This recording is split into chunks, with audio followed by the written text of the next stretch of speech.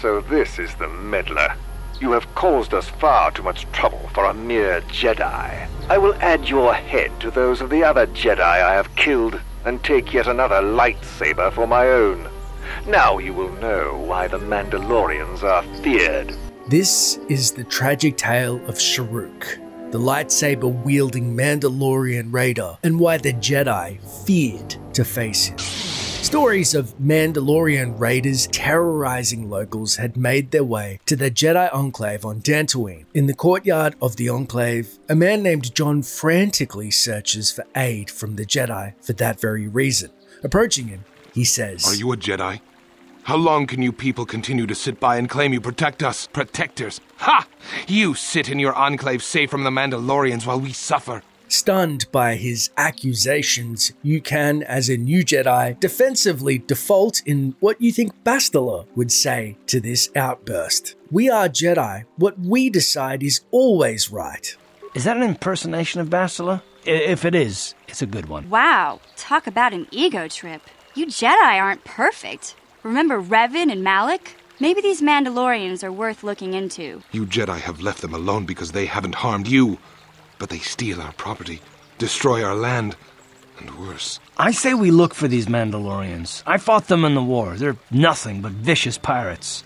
We should we should stop them if we can. Those Mandalorian brutes have killed my daughter. You should have protected her better. And you call yourself her father. And what am I supposed to do against a dozen Mandalorians and Duros? Nothing. There was nothing I could do. They came to our land demanding our livelihood. But Ilsa, my Ilsa, said no. They killed her and you didn't try to stop them? Well, only an idiot says no when they have a gun in their face, to be honest. She was always impulsive. There was nothing I could do. Too many of the Mandalorians and their Duros allies. I've come here to ask you, please, Master Jedi, stop these raiders and get revenge for my daughter. Now, we can be forthcoming and say, look, uh, I'm not a Jedi yet. But you have been accepted into the Order. Yours is the authority of the Jedi. If you don't want to get involved, you can say, revenge is never a good reason, and your problems are not my concern. Please, I beg of you, find the Mandalorian raiders and destroy them so my daughter can rest in peace. If otherwise moved by Jon's plight, you have several options to get involved. If you just say you'll protect him and his fellow settlers, that will start the quest. But to garner dark side points, you can ask him if there is a reward, or more forcefully say, Those animals, I'll kill them for what they did to your daughter. I will give you all I have. Just please annihilate them from the face of this planet. In which case, you garner dark side points and share Jon's sentiment. Before I head out, what do you know about these raiders? Not much that would help you, I'm afraid. They're Mandalorians in their battle armor with some Duros allies. They came down on us on land speeders, so they could be anywhere by now. One thing I do remember, when those dogs killed my Ilsa, is that their leader was a giant of a man who wielded a lightsaber. A lightsaber? What what does this mean? He was a Jedi? Mandalorians have never been open to your ways. They are much too barbaric and violent. Practical. I rather think that it may have been from some poor Jedi he had slain before. You can see now that he is as much of a threat to you as to me. You must kill them. They have been troubling farms in the south most recently, having already dealt with many to the north. Please go there, find them, and kill them. And with that surprisingly bloodthirsty request on the steps of the Jedi Enclave on Dantooine, we have met a man beside himself, of course, because not only has he lost his daughter, but still out there, a Mandalorian Raiders. Which begs the question how are they allowed to go free on a planet which is protected, one would assume, by the Jedi? Why has this fallen on deaf ears? Are we the first to encounter Jon? Surely not. It seems like they are getting more bold by the day. As we head through some of Dantooine's farms and first head across the Matale grounds, we read the quest outline which says Jon has told you of the attacks of the raiders that killed his daughter. He has begged you to find them and destroy them. If they are destroyed, then they won't bother the settlers anymore, but it could be dangerous. What should be noted is it doesn't seem there is a peaceful component to this quest. It's then that we see just north of the courtyard that there is a gaggle of Duros and a Mandalorian standing by two speeders and what appears to be a settler with them. Approaching closer, we overhear them conversing. You've been holding holding out on us again. Since you haven't given us enough money, I guess we're gonna have to take it out of you piece by piece. No, please! Take my wife and children instead. Anything! ah, wife and children. Sounds like a good idea.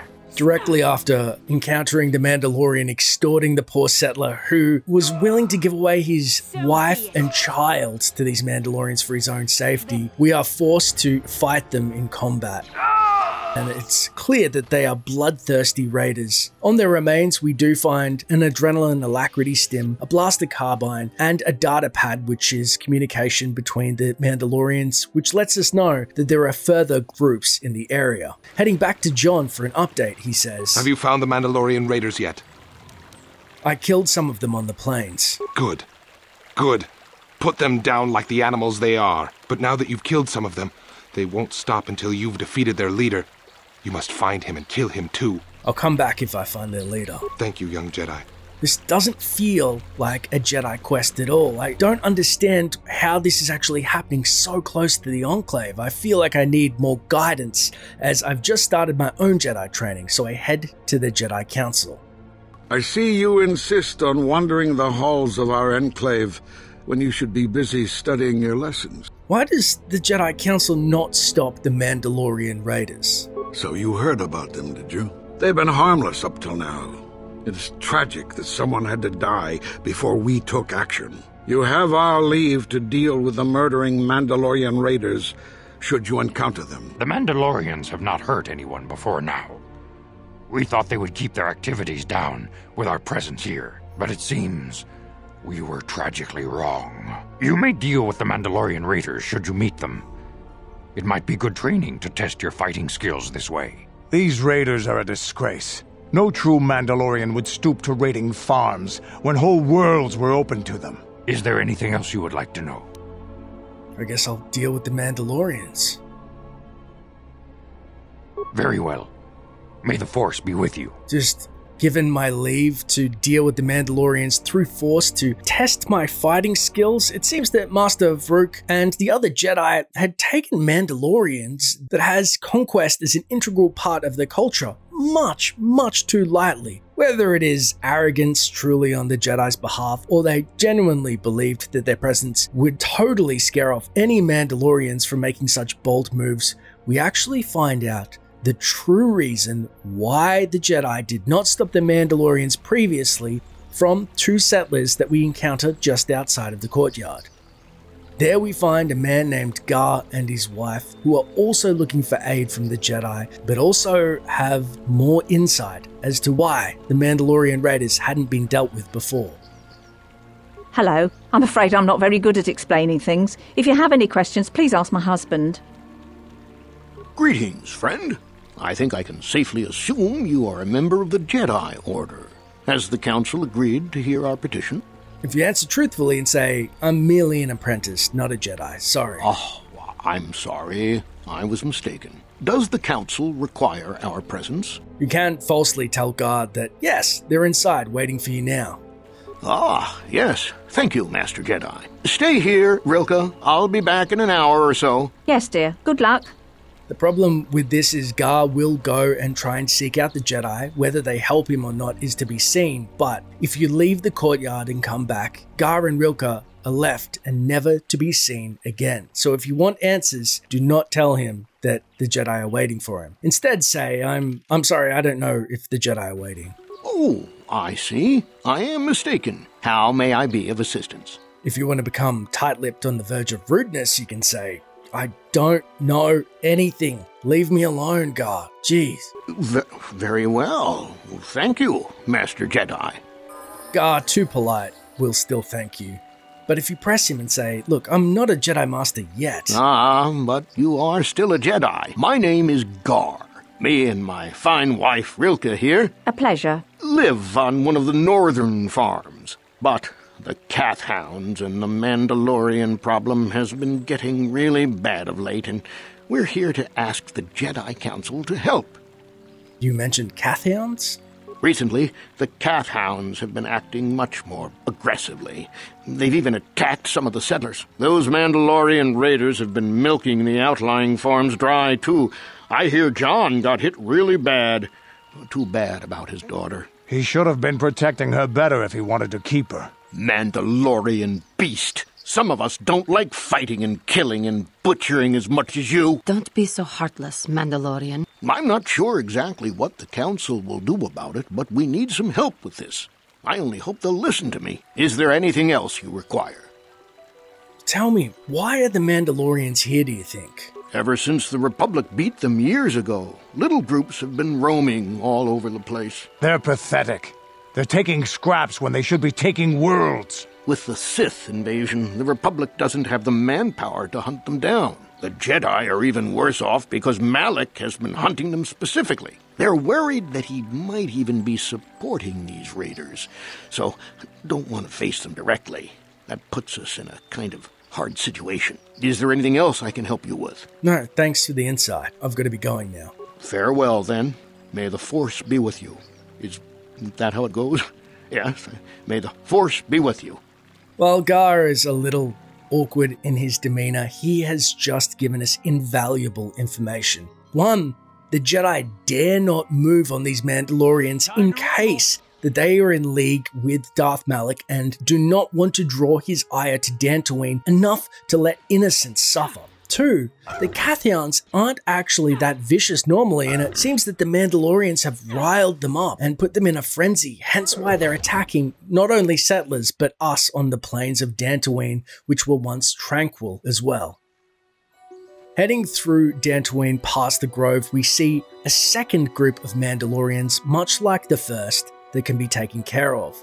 And a third, which are in the Sandral grounds. Now, it must be noted that these fights do not have dialogue attached to them as the first one did. However, these Mandalorians and Duros do put up a really good fight. The Duros, not so much with their blasters, but the Mandalorians are quite formidable and have some decent gear on their person, taking out the last errant Duros with a swift lightsaber throw. We can then loot the corpses of the Mandalorians and Duros, which net us an adrenaline amplifier, a data pad, and stabilizer gauntlets. The data pad reads Jarg, did you remember not to take the XT model bike out today? There was something funny with one of the intakes, and I thought it could jam. Ha!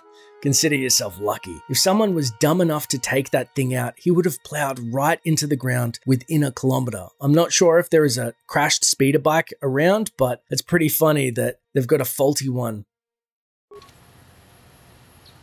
We also get ourselves a med pack, a nice footlocker full of average and a whole variety of plasma mines and credits, as well as more med packs and repair kits. These are basically really nice little bounties worth your while to take out the groups of Mandalorians. However, as we've taken out all three spotted around, it's then we are left to deal with Sherruk and his gang of Mandalorian raiders.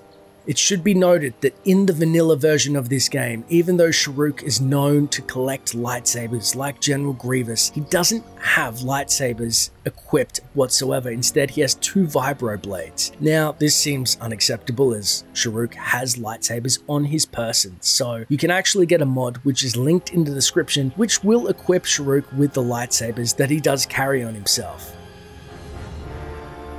With the mod installed and Sherruk with lightsaber in hand, we head towards him to face the final group of Mandalorians.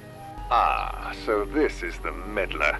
You have caused us far too much trouble for a mere Jedi. I will add your head to those of the other Jedi I have killed and take yet another lightsaber for my own. Now you will know why the Mandalorians are feared. There's a reason why Sherruk is not phased by Jedi and actually uh-huh. relishes taking us on. If you fight him without shields or unprepared, he will totally shred your party single handedly. The only way to stop Sherruk, and I have done this in a cinematic playthrough, therefore I've put it on easy because otherwise it's much too difficult to fight, is you have to stun lock him. Otherwise, he will out heal all of your attacks and he will slowly burn you down, even if you try and take out the rest of his group. So I had Carth focus on them while Bastila worked on using her flurry and I kept him stun locked. Now, if you do fail to actually hold him in place, this is what happens fairly quickly. He will not only take you down in lightsaber combat, but he will carve you like a Christmas turkey. And I cannot understate how much of a difficult fight this is. Ready? Ah! Oh.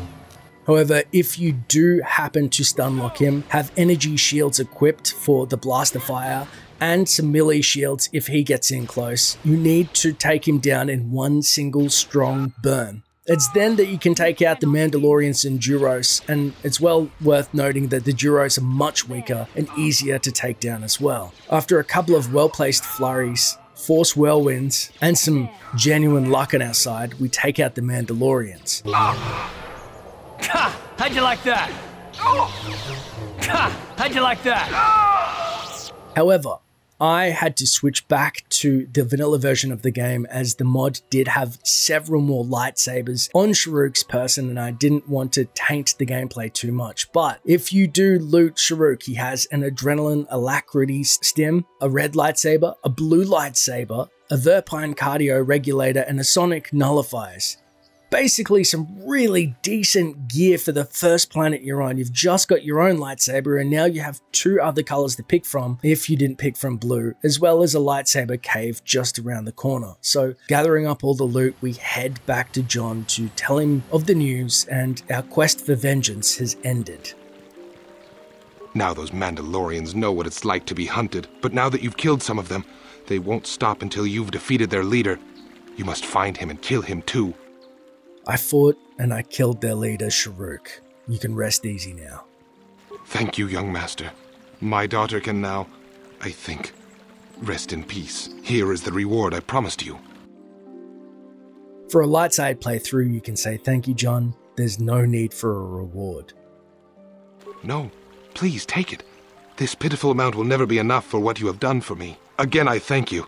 I will be sure to tell the council of your great deed. With that, you get some light side points, experience, and Jon heads to tell the council of your great deeds. If instead you hail a darker path, you can say, What? That's it? Give me more. What? I did not think the Jedi were so greedy. You seem almost Mandalorian. I thank you for what you have done for me, but I have nothing else to give. The Council will hear of your deeds and your greed. That was beneath you. I hope in the future you will strive to be better than this. You are a representative of the Jedi Order. When you behave this way, you disgrace us all. Surviving a tongue lashing from your companions, you then, of course, finish the quest but gain dark side points to boot. And Jon is going to tell the council of your misdeeds. Thank you for exacting my revenge on those Mandalorian beasts. If only I could have been the one to tear out Sherruk's heart. And with that, one of our very first quests as a fledgling Jedi is to murder a bunch of Mandalorians with no other way to complete this quest, though we are exacting revenge for a quote unquote good cause, helping the settlers. It's because the Jedi are too afraid to do so themselves. So, while the citizens of Dantooine can sleep a little more peacefully, we ourselves already have blood on our hands.